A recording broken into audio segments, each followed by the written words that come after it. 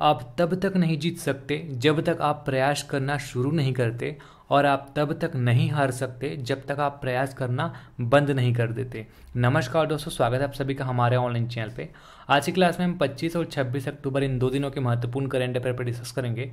तो पूरा वीडियो आप बिल्कुल ध्यान से देखिएगा। इस वीडियो का पीडीएफ आपको डिस्क्रिप्शन में मिल जाएगा। डिस्क्रिप्शन में आपको एक लिंक दिया जाता है, जिसे आप क्लिक करके पीडीएफ डाउनलोड कर सकते हैं। पीडीएफ आपको टेलीग्राम पर भी मिल जाएगा। चैनल पे पहली बार आए हैं तो चैनल को सब्सक्राइब कर लीजिएगा। डेली करंट अफेयर आपको हमारे वेबसाइट पे भी मिल जाएगा। शुरुआत करेंगे आज की क्लास का। आज का पहला प्रश्न हम देखते हैं। पहला प्रश्न है कि हाल ही में ease of doing business ranking में भारत का कौन सा स्थान प्राप्त हुआ है? तो भारत को कौन सा स्थान प्राप्त हुआ है? इस रैंक में ईज ऑफ़ डूइंग बिज़नेस में भारत को तिरसठवां स्थान प्राप्त हुआ है, ठीक है? और इस रैंक को किस संस्था के द्वारा जारी किया जाता है? इसे विश्व बैंक के द्वारा जारी किया जाता है। टोटल 190 देशों के बीच भारत का स्थान है 63 तिरसठवां, ठीक है? ईज ऑफ़ डूइंग बिज़नेस मतलब जहाँ पे व्यापार करना आसान है, ठीक है? और यहाँ पे इस रैंक में पहले नंबर पर कौन सा देश है? न्यूजीलैंड। सबसे आखिरी नंबर पर कौन सा देश है? सोमालिया का नाम आता है सबसे आखिरी नंबर में। द डूइंग बिज़नेस 2020 के अध्ययन के अनुसार, देश का स्कोर 67.3 से बढ़कर 71.0 2019 में कितना हो गया है? 71.0 हो गया है। भारत लगातार तीसरी बार टॉप टेन में सबसे बेहतर देशों में से एक बन गया है। तो इस तरह के क्वेश्चन है, ज़्यादातर क्या पूछा जाता है? एक तो भारत का रैंक दूसरा टोटल कितने देशों के बीच, भारत का रैंक या टोटल कितने देशों के बीच इस रैंक को जारी किया गया था? और सबसे महत्वपूर्ण कि इसमें पहले नंबर पर कौन है? इतना आपको ध्यान में रखना है। न्यूजीलैंड की अगर हम बात करें न्यूजीलैंड पहले नंबर पर है तो आपको देखना है मैप में देख सकते हैं, यहाँ पर है न्यूजीलैंड राजधानी है वेलिंगटन और मुद्रा है New Zealand dollar New Zealand का मैप यहाँ पे है और इसका नेशनल फ्लैग आप देख सकते हैं, ये रहा नेशनल फ्लैग विश्व बैंक के बारे में हम देखेंगे। विश्व बैंक संयुक्त राष्ट्र की एक विशिष्ट संस्था है। इसका मुख्य उद्देश्य सदस्य देशों को पुनर्निर्माण और विकास के कार्यों में आर्थिक सहायता देना ये जो सदस्य देश हैं, उसे ऋण देता है और कोई भी आर्थिक सहायता रहता है तो ये उपलब्ध कराता है। विश्व बैंक समूह पाँच अंतर्राष्ट्रीय संगठनों का एक ऐसा समूह है, जो सदस्य देशों को वित्त और वित्तीय सलाह देता है। इसका मुख्यालय वाशिंगटन, डीसी में है। विश्व बैंक और अंतर्राष्ट्रीय मुद्रा कोष की स्थापना एक साथ उन्नीस में ब्रिटेन वुड सम्मेलन के दौरान हुई थी। वर्तमान में 180 देश इसके सदस्य हैं। दूसरा क्वेश्चन देखते हैं। हाल ही में चेनानी नासरी सुरंग का नाम बदलकर किसके नाम पर रखा गया है? तो इस सुरंग का नाम बदलकर श्यामा प्रसाद मुखर्जी सुरंग रख दिया गया ठीक है? चिनानी नाशरी सुरंग का नाम बदलकर श्यामा प्रसाद मुखर्जी सुरंग रख दिया गया है। ये सुरंग कहाँ पर स्थित है? ये है जम्मू एंड कश्मीर में। इस सुरंग की लंबाई कितनी है? नौ किलोमीटर इस सुरंग की लंबाई है।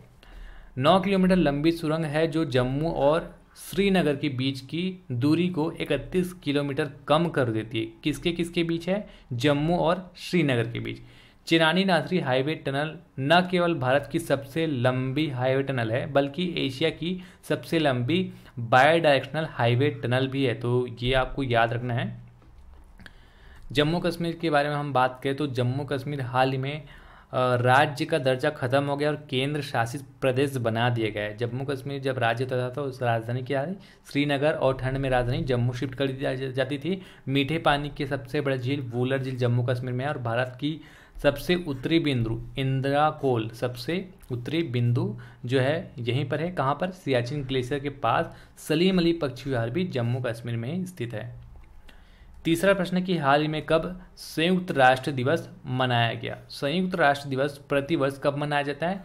24 अक्टूबर को मनाया जाता है। आज की क्लास में आपको दो तीन दिवस के बारे में आपको पढ़ाऊँगा तो ध्यान से सुनेगा संयुक्त राष्ट्र दिवस कब मनाया जाता है? प्रतिवर्ष 24 अक्टूबर को मनाया जाता है। इसकी शुरुआत कब की गई थी? 1948 में इसकी शुरुआत कर दी गई थी। संयुक्त राष्ट्र दिवस 1945 में संयुक्त राष्ट्र चार्टर में प्रवेश की सालगिरह को चिन्हित करता है। संयुक्त राष्ट्र की स्थापना कब की गई थी? 1945 में की गई थी। संयुक्त राष्ट्र 2020 में संयुक्त राष्ट्र की पचहत्तरवीं वर्षगांठ को मनाने के साथ साथ भविष्य में वैश्विक सहयोग की भूमिका पर समावेशी वैश्विक बातचीत का निर्माण करेगा। तो 2020 में पचहत्तरवीं वर्षगांठ मनाई गई है। संयुक्त राष्ट्र की अगर हम बात करें तो संयुक्त राष्ट्र एक अंतर्राष्ट्रीय संगठन है, जो अंतर्राष्ट्रीय सुरक्षा, आर्थिक विकास, सामाजिक प्रगति, मानव अधिकार और विश्व शांति के लिए कार्य करती है। इसकी स्थापना 1945 में हुई थी। इसका मुख्यालय न्यूयॉर्क में है। और महासचिव भी कौन है? पुर्तगाल देश के एंटोनियो गुतरेस महासचिव इमेज में आप देख सकते हैं, टोटल कितने सदस्य देश संयुक्त राष्ट्र के? एक सौ तिरानवे सदस्य देश है। संयुक्त राष्ट्र को इंग्लिश में क्या कहते हैं? यूनाइटेड नेशंस इंग्लिश में हम कहते हैं। चौथा प्रश्न है कि हाल ही में विश्व विकास सूचना दिवस कब मनाया गया? तो विश्व विकास सूचना दिवस ये भी 24 अक्टूबर को ही मनाया जाता है। ठीक है? प्रतिवर्ष 24 अक्टूबर को हम मनाते हैं। वर्ल्ड डेवलपमेंट इंफॉर्मेशन डे अर्थात विश्व विकास सूचना दिवस किसके द्वारा मनाया जाता है? ये भी संयुक्त राष्ट्र के द्वारा ही मनाया जाता है। इसकी शुरुआत 1972 में की गई थी। क्यों इसे मनाया जाता है? विकास की समस्याओं की ओर दुनिया का ध्यान आकर्षित करने और उनके समाधान हेतु अंतर्राष्ट्रीय सहयोग को मज़बूत करने के लिए इस दिवस को मनाया जाता है। अगला प्रश्न है, भारतीय सेना की सिंधु सुदर्शन युद्धाभ्यास किस स्थान पर आयोजित की जाएगी? सिंधु सुदर्शन, याद रखिएगा, युद्धाभ्यास का नाम सिंधु सुदर्शन। ये कहाँ पर आयोजित की जाएगी? राजस्थान में। राजस्थान के रेगिस्तान में इसे आयोजित की जाएगी। कब से कब तक? 29 नवंबर से 4 दिसंबर तक ये युद्धाभ्यास चलेगा। इसका उद्देश्य क्या है? वायुसेना और थल सेना की लड़ाई में रक्षा सेवाओं का मूल्यांकन करना ये प्रैक्टिस करेंगे और अपने रक्षा सेवाओं का ये मूल्यांकन करेंगे। इस अभ्यास में लेफ्टिनेंट जनरल एस के सैनी थल सेना और वायुसेना की उच्च स्तरीय तालमेल की समीक्षा करेंगे। वर्तमान में थल सेना अध्यक्ष कौन है? जनरल विपिन रावत और एयर चीफ मार्शल हैं राकेश कुमार सिंह भदौरिया। तो इन दोनों पॉइंट को भी आप याद रखिएगा। डायरेक्ट क्वेश्चन में पूछा जाता है एग्ज़ाम में। राजस्थान की हम बात करें तो राजस्थान की राजधानी है जयपुर। मुख्यमंत्री अशोक गहलोत और राज्यपाल है कलराज मिश्र। भारत का सबसे बड़ा राज्य है राजस्थान। भारत का सबसे बड़ा राज्य है क्षेत्रफल की दृष्टि से। लोक नृत्य राजस्थान का फ़ेमस है घूमर। पर्व फ़ेमस है गणगौर। राष्ट्रीय उद्यान है घाना पक्षी विहार। टाइगर रिज़र्व है मुकुंद हिल्स। रणथम्बौर सरिस्का। अरावली पर्वत राजस्थान में है, जिसकी सबसे ऊँची चोटी पूछी जाती है। नाम है गुरु शिखर और लूनी नदी राजस्थान में है, जो विश्व की एकमात्र नदी है, जो थल में ही खत्म हो जाती है, समुद्र में नहीं मिलती। छठवा प्रश्न है कि हाल ही में हरियाणा विधानसभा चुनाव में भारतीय जनता पार्टी को कितनी सीटों पर जीत हासिल हुई? है भारतीय जनता पार्टी को हरियाणा में टोटल 40 सीट मिले हैं, ठीक है? हाल ही में संपन्न हरियाणा विधानसभा चुनाव में 90 सीटों वाली हरियाणा विधानसभा में भारतीय जनता पार्टी को सर्वाधिक 40 सीटें प्राप्त हुई है। इन चुनावों में कांग्रेस ने 31 सीट पर जीत दर्ज की है। जननायक जनता पार्टी को 10 सीटें प्राप्त हुई है। इसके अलावा इन चुनाव में सात स्वतंत्र उम्मीदवारों ने भी जीत दर्ज की है। हरियाणा विधानसभा में कुल कितने विधानसभा सीट हैं? नब्बे। इनमें तिहत्तर सीटें सामान्य वर्ग के लिए हैं, जबकि सत्रह सीटें अनुसूचित जाति के लिए आरक्षित हैं। हरियाणा की हम बात करें तो मैप में आप देखिए, ये हरियाणा। मुख्यमंत्री मनोहर लाल ही अब रहेंगे राजधानी चंडीगढ़, जो कि पंजाब की भी राजधानी है। 1966 में इसे राज्य बनाया गया, अट्ठारहवां संविधान संशोधन के तहत। लोक नृत्य है स्वांग, सुल्तानपुर, पक्षी विहार हरियाणा में है। दुग्ध डेयरी अनुसंधान केंद्र करनाल में है, जो हरियाणा में है। मस्तिष्क अनुसंधान केंद्र गुरुग्राम में है तो ये भी हरियाणा में है। सबसे कम लिंगानुपात वाला राज्य हरियाणा, मात्र आठ सौ उन्यासी एट सेवन नाइन ठीक है? और सर्वाधिक केरल, कितना? वन ज़ीरो एट फोर न्यूनतम शिशु लिंगानुपात भी हरियाणा में ही है। Eight thirty four Panipat, Sonipat, Karnal, Kaithal जैसे ऐतिहासिक शहर भी हरियाणा में है। सातवां प्रश्न की हाल ही में महाराष्ट्र विधानसभा चुनाव में किस पार्टी ने सर्वाधिक सीटों पर जीत दर्ज की है? तो इन दोनों विधानसभा चुनाव में महाराष्ट्र और हरियाणा में किसने जीत दर्ज की है? भारतीय जनता पार्टी ने। ठीक है तो महाराष्ट्र विधानसभा चुनाव में भारतीय जनता पार्टी ने जीत दर्ज की है। बीजेपी को 105 सीटें हासिल हुई हैं, जबकि कांग्रेस को चवालीस, एनसीपी को चौवन और शिवसेना को छप्पन सीटें प्राप्त हुई हैं। महाराष्ट्र में शिवसेना और बीजेपी गठबंधन द्वारा सरकार बनाए जाने की उम्मीद है। महाराष्ट्र में विधानसभा की कुल दो सौ अठासी सीटें हैं। इसमें दो सीटें सामान्य वर्ग, उनतीस सीटें अनुसूचित जाति और 25 सीटें अनुसूचित जनजाति के लिए आरक्षित हैं। तो महाराष्ट्र की राजधानी मुंबई मुख्यमंत्री देवेंद्र फडणवीस ही बनेंगे राज्यपाल भगत सिंह कोश्यारी। ठीक है, मैप में आप देख सकते हैं, यह है महाराष्ट्र।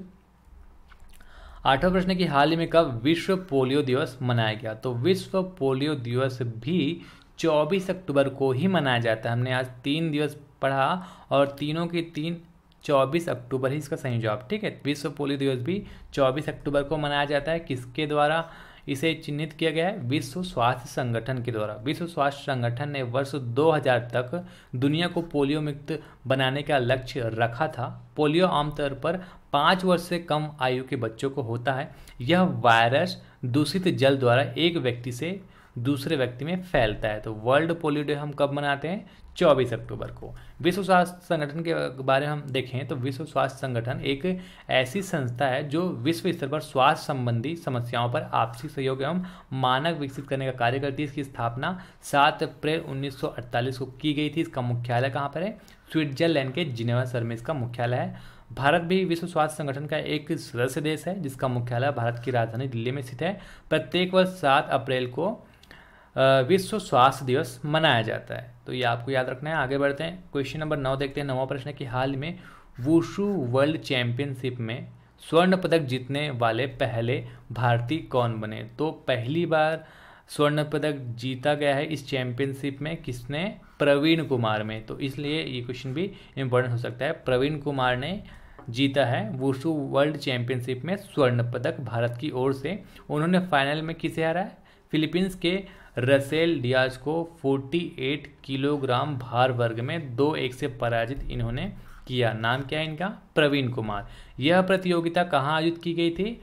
पंद्रहवीं संस्करण, ठीक है, पंद्रहवा संस्करण इसका। और वुशु वर्ल्ड चैंपियनशिप का आयोजन चीन के संघाई में किया गया। वुशु सेंडा एक मार्शल आर्ट गेम है। चाइना आप मैप में देख सकते हैं, ये है चीन, राजधानी है बीजिंग, मुद्रा है रेनमिम्बी राष्ट्रपति जी जिनपिंग ठीक है, ये है जी जिनपिंग और चाइना का जो नेशनल फ्लैग आप देख सकते हैं, कुछ इस तरह से दिखाई देता है टोटल पाँच स्टार है चाइना के नेशनल फ्लैग में। क्वेश्चन नंबर दस है कि 2020 Q S India university ranking में पहले स्थान पर कौन सा संस्थान रहा? तो इस रैंकिंग में पहले स्थान पर कौन सा संस्थान है? IIT Bombay Q S India university ranking में आईआईटी बॉम्बे पहले स्थान पर है। इस रैंकिंग में आठ पैरामीटर्स पर संस्थानों का मूल्यांकन किया गया था। तो आप चाहो तो ये आठ पैरामीटर्स देख सकते हैं। इतना महत्वपूर्ण नहीं है, इतना डिटेल नहीं पूछा जाता। आगे बढ़ जाते हैं, कुछ अन्य महत्वपूर्ण समाचार हम देखेंगे। हाल ही में जम्मू कश्मीर कैडर के IAS अधिकारी बी आर शर्मा को स्टाफ सिलेक्शन कमीशन का चेयरमैन नियुक्त किया गया। हाल ही में ten studies in Kashmir history and politics book का विमोचन किया गया। और इस बुक के लेखक कौन है? पद्मश्री विजेता प्रोफेसर काशीनाथ पंडित है। तो ये क्वेश्चन थोड़ा इम्पोर्टेंट है। भारत को 2019 मेलबर्न मर्सर ग्लोबल पेंशन सूचकांक में बत्तीसवां स्थान प्राप्त हुआ है।